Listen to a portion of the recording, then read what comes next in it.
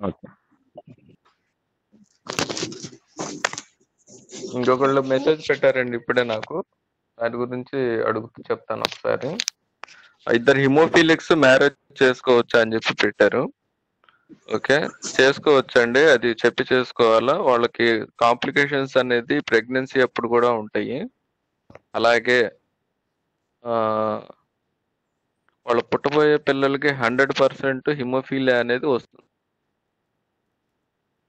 Okay? ఇద్దరు హిమోఫిలిక్స్ marriage చేసుకోవచ్చు. దానివల్ల ఇబ్బంది అయితే ఏం లేదు. ప్రెగ్నెన్సీ టైంలో వాళ్ళకి సమస్యలు వస్తాయి. దాని తర్వాత వాళ్ళు పుట్టబోయే పిల్లలకి హండ్రెడ్ పర్సెంట్ కాంప్లికేషన్స్ వస్తాయి. రావడానికి హండ్రెడ్ పర్సెంట్ ఛాన్స్ ఉంది. ఎవరైనా అలాగా ఉంటే ఒకసారి డాక్టర్ గారితో కలిసి మాట్లాడిన తర్వాత చేసుకోవచ్చు. ఇబ్బంది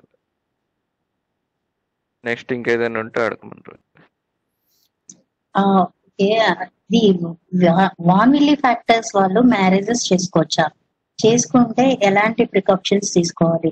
అంటే ప్రెగ్నెంట్ టైంలో ఎలాంటి ప్రాబ్లమ్స్ వస్తాయి? అవి మాకు చాలా వరకు అందరికి డౌట్లు ఉన్నాయి ఇవన్నీ. అంటే మా పేరెంట్స్ ఏమంటున్నారంటే ఆ, రాయవెల్లూరులో చెప్పారు డాక్టర్స్ చెప్పారు మ్యారేజెస్ చేసుకోకూడదు. వాన్విల్లీ ఫ్యాక్టర్స్ వాళ్ళు మ్యారేజ్ చేసుకోకూడదు అనేసి చెప్పడం తోటి ఇంట్లో పేరెంట్స్ కూడా ఏమంటున్నారంటే మ్యారేజ్ చేసుకోకూడదు అన్నారు ఇప్పుడు ఎందుకు మీకు మ్యారేజ్ చేయడం? అనేసి ఇంట్లో అలాగే ఉంచుతున్నారు. ప్లీజ్ దయచేసి దీని గురించి కొంచెం వివరంగా చెప్పండి. Okay madam. వ్యాన్విల్లీ బ్రాండ్ వాళ్ళు ఆల్రెడీ మన దగ్గర సొసైటీలో డెబ్బై మంది ఉన్నారు మన దగ్గర ఓవరాల్ ఇది జెంట్స్కి ఉండుద్ది లేడీస్కి ఉండుద్ది. జెంట్స్కు వచ్చేసరికి గంబులీడ్స్ ఈ సమస్యలు ఉంటాయి. లేడీస్కి వచ్చేసరికి కొంచెం పెద్ద అయిన దగ్గర నుంచి వేరే సమస్యలు వస్తాయి. ఓకే. దీంట్లో కూడా మూడు రకాలు ఉంటాయి. Type one type two type three అని చెప్పి త్రీ టైప్స్ ఆఫ్ ఉంటాయి అన్నమాట. సివియారిటీ అనేది టైప్ త్రీ అనేది సివియారిటీ మామూలుగా. మ్యారేజ్ అనేది చేసుకోవచ్చు. చెప్పి చేసుకోవడం ఉత్తమం అన్నమాట. ఇన్ కేస్ ఆఫ్ దాంట్లో కాంప్లికేషన్స్ అనేసరికి మీకు సమస్యలు అనేది వస్తూ ఉంటాయి. మంత్లీ మంత్లీ సమస్యలు ఉంటాయి. ఇన్ కేస్ ఆఫ్ మీరు ఆల్రెడీ మన దగ్గర కూడా చూసుంటారు కొన్ని కేసులు. బయటికి రావాల్సిన బ్లీడింగ్ అవ్వక లోపల అవి కూడా కొంతమంది మనోళ్ళు ఇబ్బంది పడిన వాళ్ళు ఉన్నారు. ఓకే అలాంటప్పుడు ప్రెగ్నెన్సీ అప్పుడు నార్మల్ డెలివరీ అయినా సర్జరీ అయినా ఏదైనా సరే ఫ్రాక్టర్ కవర్ పెట్టి చేయించుకోవాలి. అది తప్పితే వేరే కాంప్లికేషన్స్ అనేది ఏది ఉండదు. వాళ్ళ పుట్టబోయే పిల్లలు కూడా సేమ్ అంతే ఎయిట్ నైన్ వాళ్ళలాగా ఫిఫ్టీ ఫిఫ్టీ పర్సెంట్ ఉంటుంది ప్రీనేటల్ డయాగ్నోస్టిక్స్ అనేది ఉంది. అది చేయించుకుంటే పుట్టబోయే పిల్లడికి వచ్చిద్దా లేదా అనేది తెలిసిద్ది. నార్మల్ పిల్లలు కావాలనుకుంటే అలా చేసుకోవచ్చు అనమాట ఓకే మేడం?